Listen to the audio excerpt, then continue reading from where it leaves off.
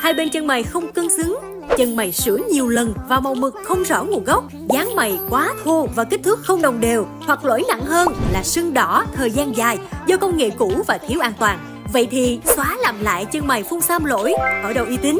Thẩm mỹ viện quốc tế Linh Anh được đông đảo khách hàng tin tưởng với hơn 16 chi nhánh trên toàn quốc, sở hữu công nghệ xóa xăm và phun xăm hiện đại hàng đầu, không đau, sưng đỏ và không để lại sẹo. Khách hàng được tư vấn tận tình và lựa chọn phương pháp làm đẹp chân mày phù hợp với khuôn mặt. Master tay nghề cao và có nhiều năm kinh nghiệm, thiết kế khuôn dáng tỷ lệ vàng, tạo sợi siêu thực cực tự nhiên, khắc phục mọi khuyết điểm của chân mày. Chỉ 60 phút, làm sâu đẹp ngay, không cần nghỉ dưỡng, giữ màu lên đến 5 năm. Đặc biệt, không bị trổ xanh, trổ đỏ.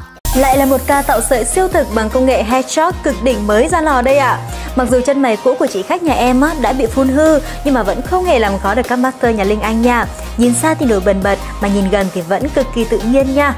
Mua một tặng một, chốt lịch làm đẹp ngày hôm nay, ưu đãi có hạn, giữ sức tại đây.